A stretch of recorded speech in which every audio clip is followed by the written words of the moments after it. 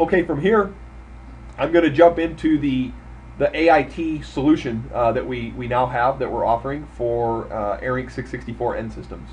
So first of all, the hardware design, it's a, it's a very simple design. It's FPGA based and really contains, you know, four main components. So there, there's a there's a, a big FPGA.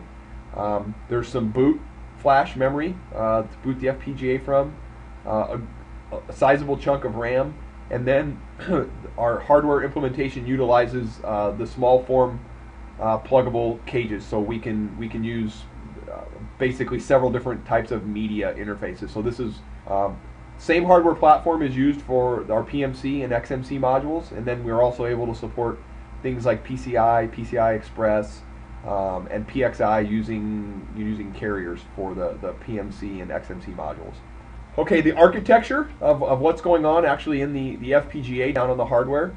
So at the bottom layer uh, in firmware, we have the ARINC 664 Mac. Um, and then there are also two embedded processors that are synthesized within the FPGA that operate in parallel.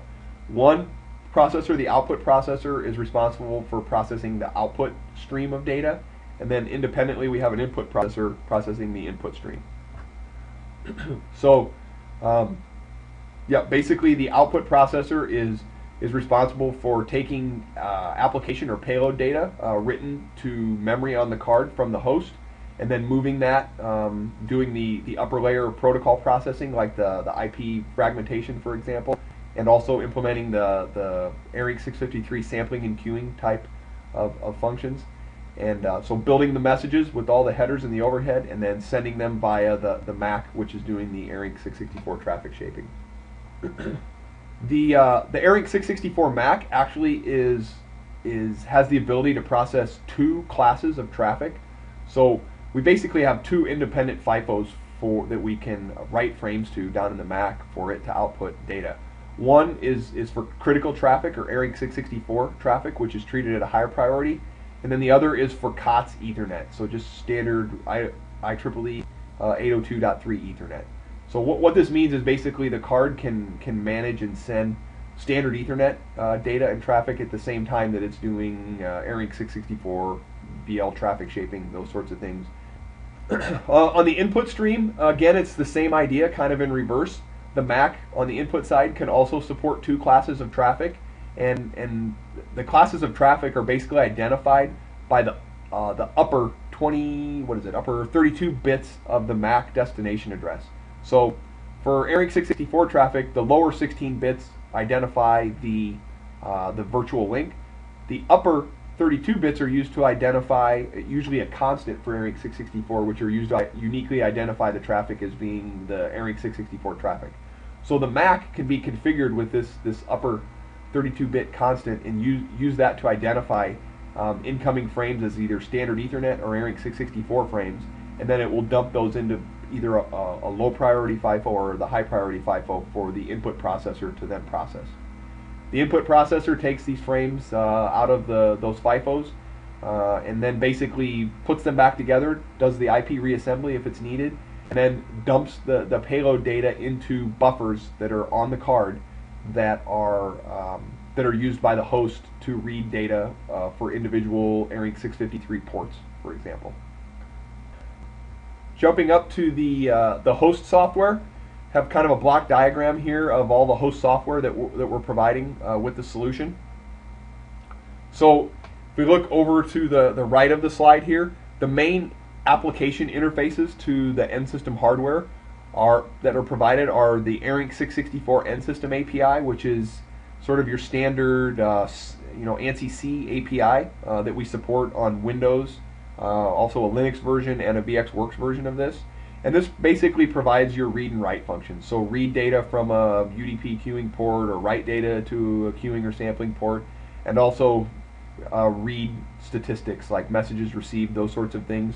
Uh, also, this is the API where you would set up and get things like uh, events or interrupt callbacks when messages are received or different con conditions are reached. Uh, we also provide a LabVIEW instrument driver so this is a collection of VIs that provide you know the read and write access to to the hardware. And, and this is actually a fully uh, compatible with LabVIEW instrument driver that we've gone through sort of the compatible with LabVIEW's um, certification process with uh, National Instruments and had it you know thoroughly tested and, and validated to work um, you know on a, on a Windows or non real-time environment and also in within the LabVIEW real-time environment. So basically two different types of programming language interfaces for the, your application programs. These the, both the instrument driver and the end system API they have simple functions to configure configure the hardware. Uh, basically, it's one function or one VI that reads in a binary or, or hex file that contains the definition of all of the virtual links, um, UDP ports, the, uh, the, the, sort of configuration information that the end system hardware needs in order to do the ARINC 664 traffic shaping and, and, and protocol processing. So not a whole bunch of VIs or, or C function calls to create these configurations. It's a simple loading of a, of a device configuration file. Now, these configuration files can be defined um, basically in one of three different ways, or, or, kind of, we support three different use cases for defining the configurations. Um, one of them is graphically. So we provide our, our flight Simulyzer tool. Uh, so it's a, a, GUI where you can graphically go through and, and create VLs and specify the parameters and then create the, the messaging ports, those sorts of things that are, are um, associated with them. Uh, the other way is we, you can manually just write an XML file which defines the configuration and then we provide this configuration compiler which is basically a command line utility which is going to compile that XML file into the device loadable format.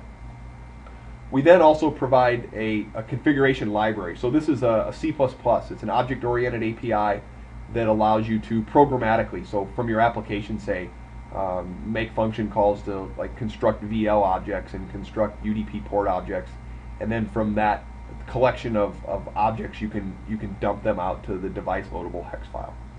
Um, this configuration library can also import configurations and, and construct those objects from XML files that you define. So, based on this sort of core XML, um, you know, human readable uh, definition of the the ARINC 664 configurations, you can you can share um, the configuration data between the GUI and say the configuration library.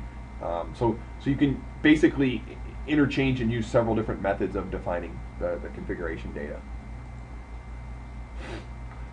Some of the details of the uh, the end system API. So this is the C API. it provides read write or, or basically read write ports to all the layers of the protocol. So you can configure and read and write uh, down at the, the Ethernet level, so you can read and write raw frames. Also at the IP level, so you can write the whole IP payload and read the whole IP payload. Uh, and then all on up the stack, all the way up to the, the ARINC 653 sampling and queuing uh, type ports. Also, as I said before, events are supported.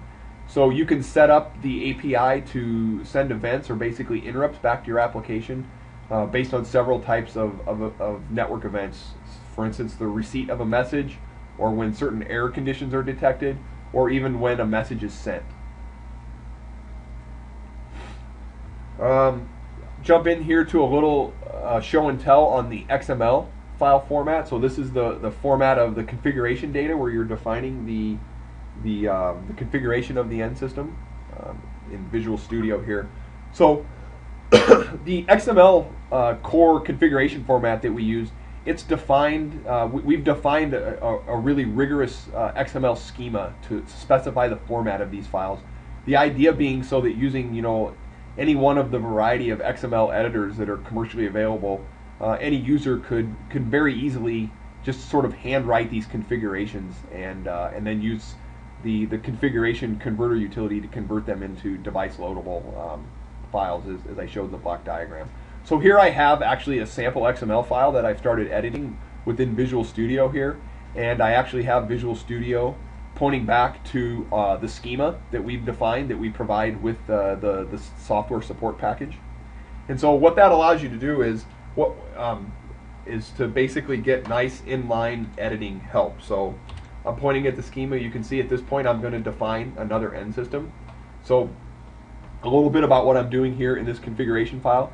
You can see that I'm, I'm configuring an ARINC 664 device. So basically one of the boards, one of the PMCs or XMCs, PCI, PXI boards. On each of those boards, I can actually simulate multiple end systems. So I can I can set up that board to send and receive data um, as if it were actually multiple real end systems in a real network. So I've already defined one end system with several um, output VLs and input VLs. So what I'll do is I'll just go through a few of the steps of defining another end system that I would simulate on that same device. So I can select that I'm going to define another end system. Then I can see all of the options that I can set for that. So I can enable the end system. Uh, I can also give it a name.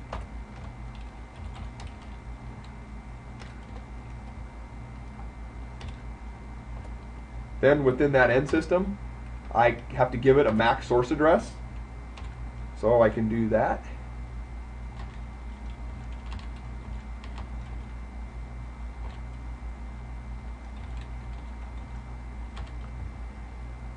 Uh, I can get down to the outputs, so the output VLs for instance. So I say an output VL, and for that VL I can set things like the maximum frame length, whether I'm whether I'm actually using sequence numbers on that VL or not. So so that we can support some test and simulation type of applications, we have the ability to have a VL actually include the sequence numbers as the protocol specifies or not. We can also specify the VLID, so this is the what's going to go in the lower uh, 16 bits when the, the end system is transmitting the VL.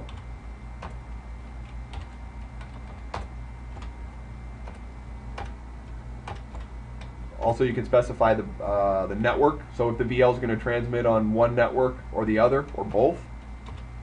And the BAG.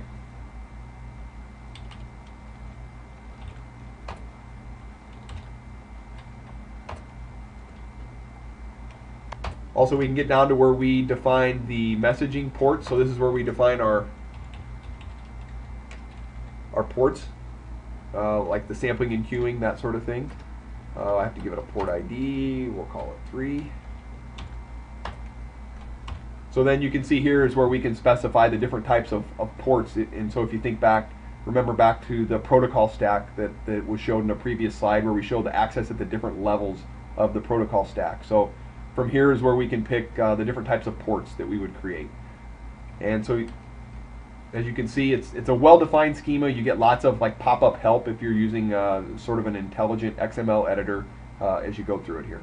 So that's just a little bit of show and tell on sort of the kind of things that you can do to define your your network configuration. And then again, you can take this file. Again, uh, as I stated, we have also the, the Flight Simulyzer GUI. So this is a graphical tool that you can use to you know go in and, and graphically uh, point and click and, and uh, define your configuration. The configuration uh, tools, uh, the, or I'm sorry, the, the software API, so this is the C++ API that allows you to programmatically create the configurations. Uh, what we have here is just sort of a visual representation of the hierarchy of objects or, or C++ classes that, that are provided in, in that API. And then again, this, this API also provides functions that allow you to then dump that device object out to an XML file or load it and create the hierarchy of objects from an XML file. Same thing with the, the loadable uh, hex format that goes into the device. You can dump it or load it from that. Some of the additional software test tools that we provide with, with the software packages uh, with, um, with the product. So on the data capture side, the hardware module um, is able to uh, assign uh, high resolution timestamps. I think they're somewhere down around 8 nanoseconds is the, the resolution on the the timestamps of all of the incoming traffic that's captured. And so what we also provide with the software package is a tool that will read um, all of that traffic captured off the card and stream it to a PCAP file. Also, we provide a utility that can replay the PCAP files. So it's, it's just simply a, a command line executable. You can pass it a PCAP file and we can replay uh, previously captured uh, data uh, back out through the ARINC 664 uh, PMC, XMC card, um, and we can recreate the, the network timing with uh, one microsecond accuracy. So the really cool thing about this is because we're replaying a standard format such as PCAP, is we also support a use case where say you're just using Wireshark uh, on a normal PC, normal network interface, and you're capturing some network traffic. You could then save that PCAP file, take it over to um, a PC or a system that say has one of our, our cards installed in it, and you can replay that PCAP file out through through the card. And that that brings the presentation to a conclusion,